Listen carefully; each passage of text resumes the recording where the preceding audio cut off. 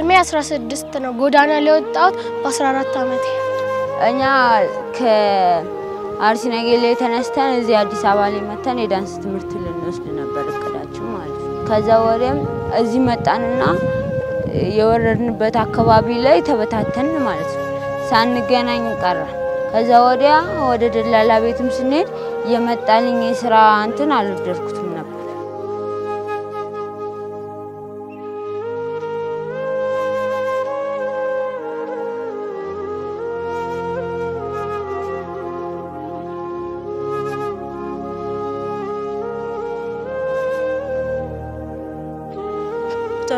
በጣም ችግር ነበረና ከዛ ወደ ሰቆጣ ሳይሄድ ወደ እናቴ ጋር መጣውና እናቴ እዚህ ስትመጣ እዚህ ማስቲካና ሶፍት እንቁላል ነበር የምሸጠው እዚህ ማለት አዲስ አበባ። ከዛ ከሸጥኩ በኋላ ቀስ ብዬ ወደ ጎዳና ወጣው።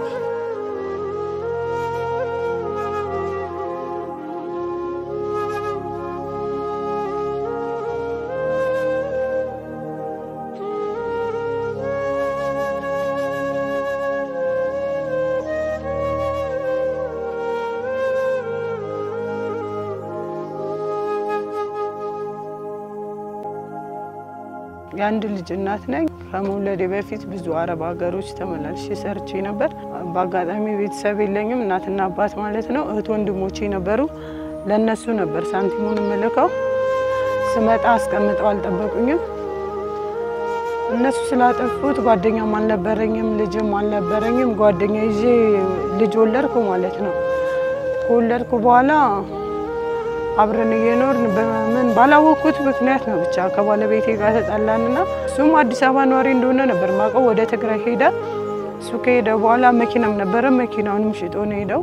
ከሄደ በኋላም ጦርነት ተነሳ። ምንም ነገር አላስቀመጠልኝም። ለልጁ ምግብም የቤት ኪራይም ሳይከፍል ምናምን ነው ትቶኝ ሄደው። ነገር ሁሉ በጣም ነበር የሚያስጠላው። የሰከሩ ወንዶች ምናምን ነበሩ። ብቻዬን ነበርኩ በዛን ሰዓት እና ብቻዬን ባለሁበት ሰዓት የሆነ ሸራ አንጥፋ የምትተኛ ነበረች። እሷ ላይ ወንዶች እንዳይጫወቱብሽ ብላ እንትን አለች፣ አስገባችኝ እሷ ጋር ማለት እና ከእሷ ጋር መኖር ጀመርኩ። በቃ የመጀመሪያው ሌሊት ስተኛ አብዛኛውን ጊዜ ብርድ ነበረ። በብርድ ሰዓት ደግሞ ወንዶችም ይጮሃሉ፣ ሴቶች ደግሞ በጎዳና በኩል አቅራቢያ ባሉት ይጮሃሉ ሴቶቹ እንዳለ እና በዛ በጣም ፍራቻ ነበር ሲሰማ የምጠቀመው ሲጋራና ማስቲሽ። ማስቲሹ የምጠቀመው ለብርድ ነው።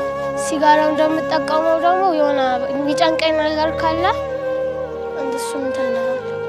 ማታ ማታ አለቅሳለሁ። ምነው ከእናቴ ጋር ብኖር እንደዚህ አይነት ህይወት ውስጥ ባልገባ እያልኩ መመለስ ፈልጌ ነበር። እሷ ግን አልፈልግሽም ነው የምትለኝ።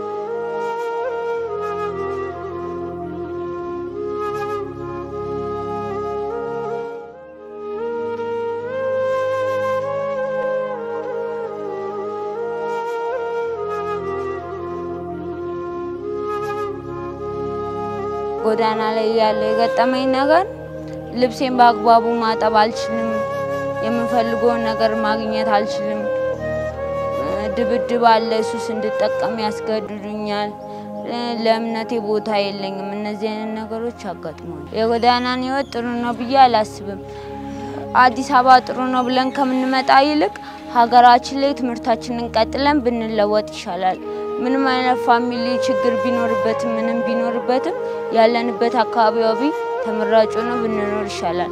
ከሀገራችን ስንመጣ ስራ ጥሩ ሊሆን ይችላል ምናምን ብለን አስበን ወደዚህ ስንመጣ ጥሩ ያልሆነ አጋጣሚዎችን ነው የምናገኘው። ጓደኞቼ የመቀሌ ልጆች አሉና የራየና የመቀሌ ከእነሱ ጋር ነበር ማስቲካ ሶፍት ነበር የምሸጠው ብቁልት። ከዛ ቀስ እያልኩ ከእነሱ ጋር ስታዋወቅ ጓደኛ ስታታወቀኝ ከዛ ሽጋራ ለምር ከሽጋራ ደግሞ ወደ ጎዳና ወጣው።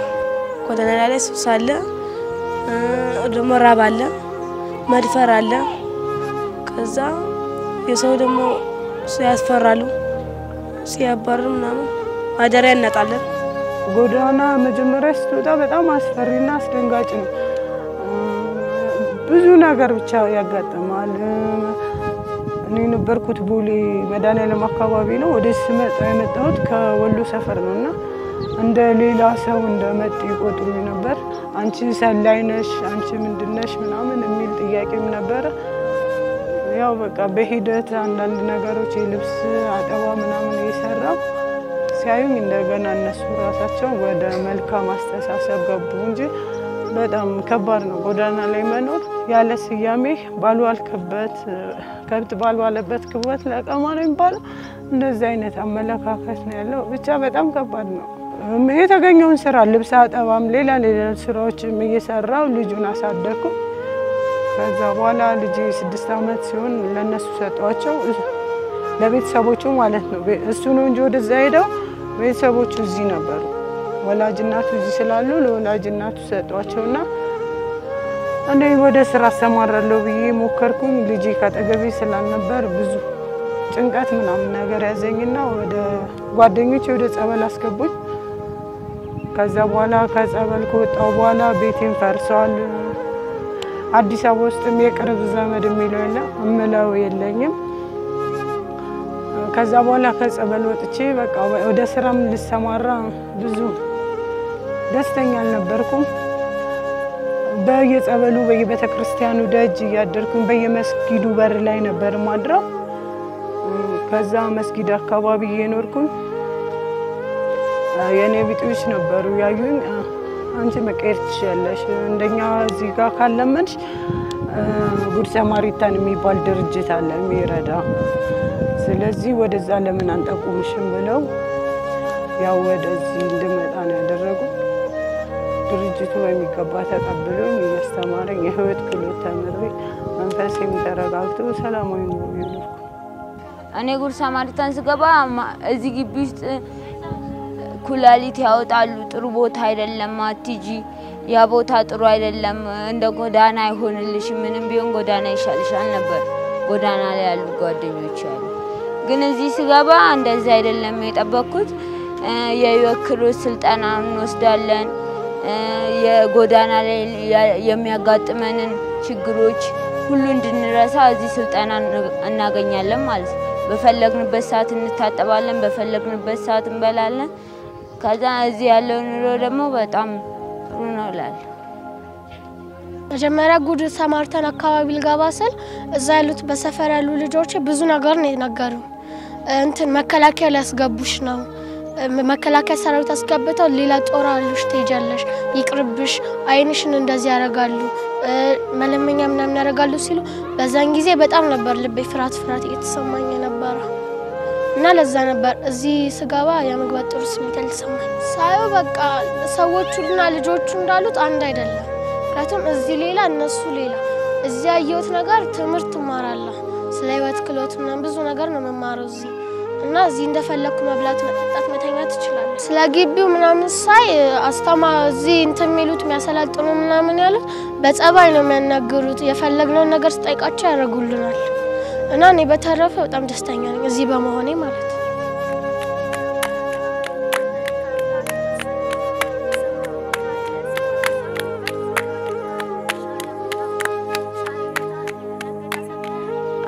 ኣብዚ ኣተኹ ግን ኣብኡ ለደግል ኣለኹ እዚህ ጉድ ሰማሪታን ድርጅት ከገባን በኋላ ምግብ፣ ልብስ፣ ጫማ፣ ሁሉ ነገር ተሟልቶልናል።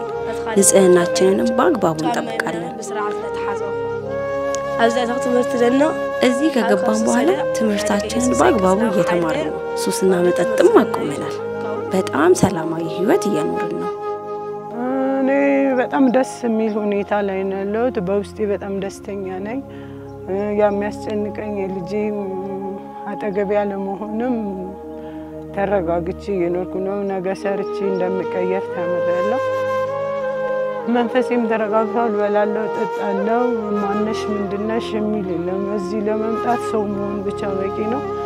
እንደዛ ነው የተቀበለኝ ጉድ ሰማሪት። የባህሪ መሻሻልን አግኝቻለሁ። ትዕግስተኝነትን አግኝቻለሁ እና ከሰዎች ጋር እንዴት ተግባብቼ እንደምኖር አውቄያለሁ።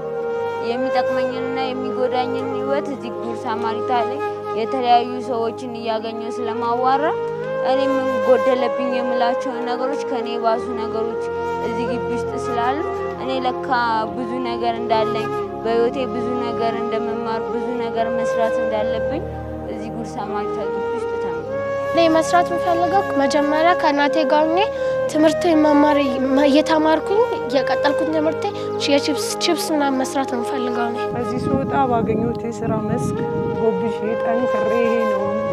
ሳልል ስራ ሳልነቅ በተረጋጋ መንፈስ ጥሩ ሰራተኛ የካቲት ወይፀ ኣብዚ ሰይርሓ ኣብ ሰልጥነን ትኸፈተለይ ምስ ማዘሬላ ኣለኹ ትምህርቲ ኣይትየ? ካብ ትምህርተይ ለስራሕ ይካቲ